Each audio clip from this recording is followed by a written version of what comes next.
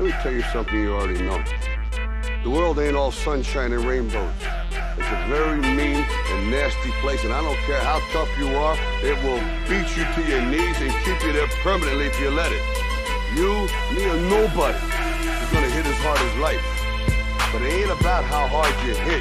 It's about how hard you can get hit and keep moving forward. How much you can take and keep moving forward. That's how winning is done.